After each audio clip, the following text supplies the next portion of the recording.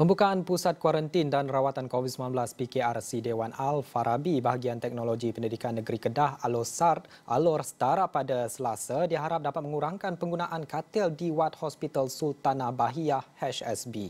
Pengarah Jabatan Kesihatan Negeri Kedah Dr. Muhammad Fikri Ujang berkata, PKRC itu akan menempatkan sekitar 40 pesakit COVID-19 kategori 3 dan 4 yang kebanyakannya warga emas. Sebab itu kita memerlukan uh, dewan Arabi ini yang ada kemudahan untuk oksigen. Dan tapi kemudahan oksigen kita ada kemudahan makmal uh, untuk uh, uh, point of uh, point of uh, testing.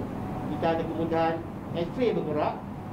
Dan juga kita ada kemudahan uh, uh, rawatan pakar di sini.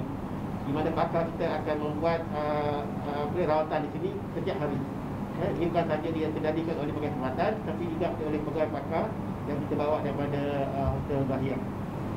Katanya kapasiti di dua PKRC lain di Kedah iaitu Institut Latihan Kementerian Kesihatan Malaysia ILKKM Sungai Petani dan ILKKM Kulim menggunakan 320 katil daripada 500 katil.